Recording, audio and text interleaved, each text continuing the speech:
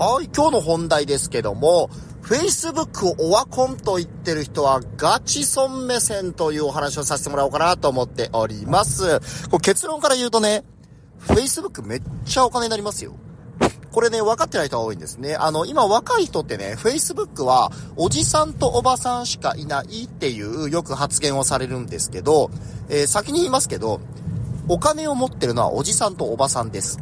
若者ではありません。もうこれが答えなんですね。インスタグラムとかは結構確かに若者がやってるから、広がりはあります。TikTok もそうですね。確かに母数が多いから、え、広がりは多いんですよ。で、その分、否定コメントや、まあ、言い方悪いんですけど、ちょっと頭の悪い勉強してないね、えー、 party people が多すぎて、あのー、なんかね、世界があんまり汚いというか、不純物が混ざりすぎてるんですね。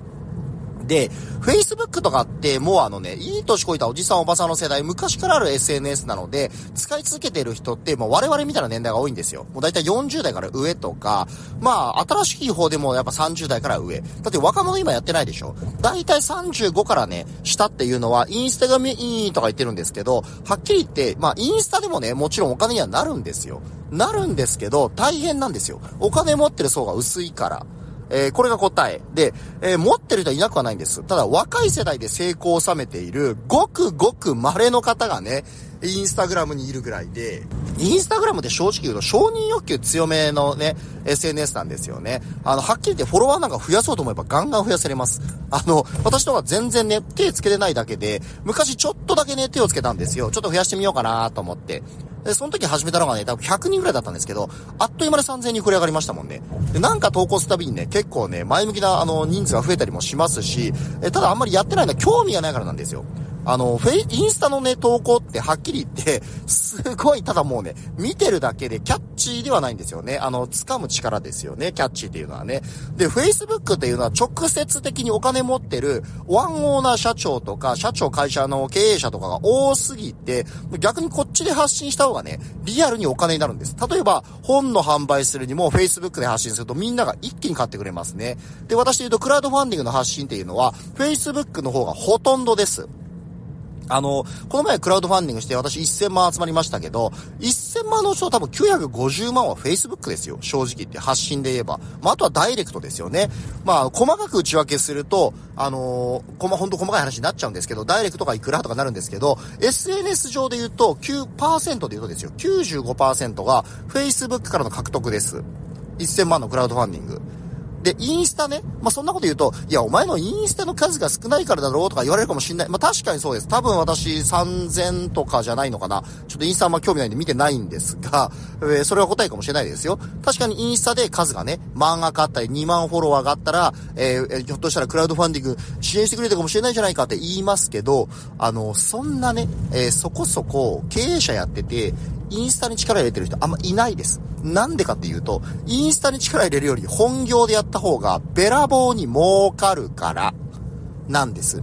インスタで稼ぐっていう形を取るより、本業でね、億稼いだ方がよっぽど楽なんです。えー、まあ私も一応年初2.5くらいは会社やってるんで、えー、そこら辺はもうわかるんですが、それは全集中してインスタとかね、X にね、あのー、ね、なんだ、サブスクとかをすれば、そりゃ行きますよ、はっきり言って。行くに決まってんじゃん。簡単ですよ。言い方悪いけど。やり方いっぱいあるんだから。で、X はね、また別で、これはね、不特定多数の人に届くんですよ。自分が知らない人に発信が届くんで、これはこれでね、新しい仲間との出会いがあって便利なんですね。あの、X とかでもそうですけど、あの、ギブのね、ギブアウェイ的なやり方をすると、誰かにプレゼントとか、簡単なんですよ。フォロワー増やすの。ね。それはもう私実験検証してるからわかるんです。でも、別に増やそうとも思わないし、そこに時間がないっていうのが現状なんですよね。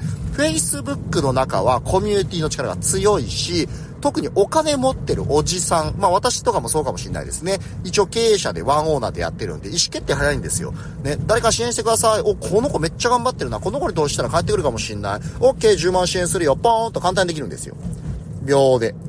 でもね、インスタグラムでそれ発信してても、する気になんない。あと、そもそもが、あの、そこに URL 貼ってもクリックできないとかね、致命的な弱点が多すぎるんですよ。あの、インスタとかはただ、いいねとか、あの、いい、ここいいねとかいう コメントがね、集まるだけの、承認欲求の飾り SNS。もうこれ言い方悪いんだけど、言い方悪いんだけどね。いや、もちろん中には別ですよ。私の知ってる方で中島優子さんという方とかはね、ビジネスインスタグラムの黄金率、あれで稼げるようになってる、もう間違いなく、そして、インスタグラムで人生は変わってますんで。ね。だからこれはインスタグラムが悪いとか言ってるわけではなくて、Facebook がオワコンって言って使ってない若者にもったいないっていう話をしてるんですよ。もちろん中にはインスタグラムでね、100万赤とか持っていて、えー、私月100万稼いでるよっていう方もいると思いますよ。でもごくごくごくごくわずか。ね。副業ぐらいならちょうどいいですよね。えー、まあその中で若者がね、Facebook に参入するっていうのは実は超いいんですよ。こっからは結構今日の本題なんですけど、なんで若者が Facebook すると強いのか。それはおじさんとおばさんにチヤホヤしてもらえるんですよ。あ、若い子入ってきたってなるじゃないですか。ね。その中にキラキラしたギャルとか、ね、イケメンの若い子が入ってきて、今から頑張ります挑戦するんですって言ったら、応援してもらえますよ。だってみんなおじさんとおばさん、じいちゃんばあちゃん、ね。そしてお金を持ってる人たちなんですよ。なんでやんないのかって。これね、あの、アホなんですよ。あの、そういう、もう Facebook オワコンって言ってると気がついてないんですよ。私が若かったら絶対 Facebook を超狙っていきますからね。Facebook は、ね、小さい湖の中に大きなお金持ってる魚がいっぱいいるっていうイメージです。インスタグラムは大きな湖、もう海みたいなところに、ね、お金持ってない若い稚魚がいっぱいいるイメージなんですよ。で、たまに大物がいるけど、な、狙えないんですよ。どっちがいいですか？どっちがブルーオーシャンでどっちがレッドオーシャンだと思います？母数が多くて稚魚がいっぱいいる湖がレッドオーシャンなんですよ。そして、小さい湖に大きな魚、ね、がいっぱいいる湖、そして、つきやすい。だって湖が狭いんだから。何がどう考えても、誰がどう考えてもブルーオーシャンじゃないですか。ね。ブルーオーシャンっていうのは競合がいない状態です。ね。えー、めちゃくちゃ綺麗な海っていうイメージしてください。最高でしょ？ね。だから若者は Facebook を狙って自分の挑戦や悩みを打ち明けたり、そして応援してください、支援してください、ベースで何か買ってください、商品見てください。こういうことを発信すればいいんですよ。なんでやんないの ?Facebook で。なんで情熱持って Facebook でやんないの？今めちゃくちゃ狙い目だよ。Facebook は。これ騙されたと思ってやってみてください。そしてね、オーナー会社の社長さんに、ね、唾液をジュルジュルさせながら先ギブをしてください。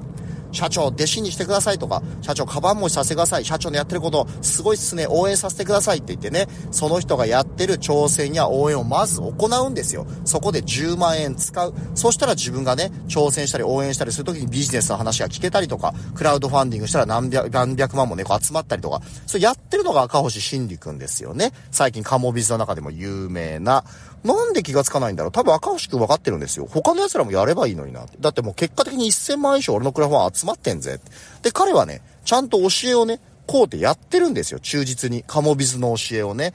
先に誰かにギブをする。他者貢献することで、後から必ず帰ってくるんだよっていうことなんですよ。彼はおそらくね、カモビズ関係に2、300万投げてますよ。お金がない中に300万投げたんですよ。巻き絵と思ってください。そしたらね、稚魚がいっぱい寄ってきて、さらには大きな魚がいっぱい寄ってきたんですよ。ね。その中の一つ、クジラが鴨頭義人さんですよ。そのね、クジラを釣り上げたことによって、今回のクラウドファンディングのね、一撃で300万。で、これお金だけじゃないんですよ。一番強いのは、鴨頭の親父のバックボーンなんですよ。何にも労力をすることがね、なくてね、 Voicy で発信してくれて、自分のことを高めてくれるんですよ。あんな応援があった時点で一気に応援が集まるに決まってんじゃないですか。インフルエンサーの声がね、そっちに矢印を見た瞬間に私たち全員そっち向くんですよ。応援しようって言って。ね、この力なんですよ。こんなものは300万にはね、あのー、もう、到底及ばない力ですよ。もう500万以上の価値があるんですよ。そりゃそうですよ。だって、カモさんに応援してもらう権利とかね、自分のクラファンをめちゃくちゃ応援してくれる権利があるんなら、ね、500万出したって元が余裕で取れるんだから、ここに気がついたんですね。若者は、Facebook をやるべきなんですよ。わかりますか？ね、承認欲求なんかを期待してる場合じゃないんですよ。いい写真載せたり食べ物載せて、いいね、かわいいね、美味しそうだね、かっこいいね。どうでもよくない？そんな言葉。そんなことより現金じゃない？金だよ。金。そうでしょまず金を得ないと自分の夢を叶えることはできません。夢を叶えてお金を得ないと、他者貢献もできないんですよ。誰も助けることができないんですよ。そこで承認欲求を満たせばいいじゃないですか。皆さん、若者がもし聞いてたらですけどね、Facebook が狙い目ということを、まあ皆さんも教えてあげてほしいなと思います。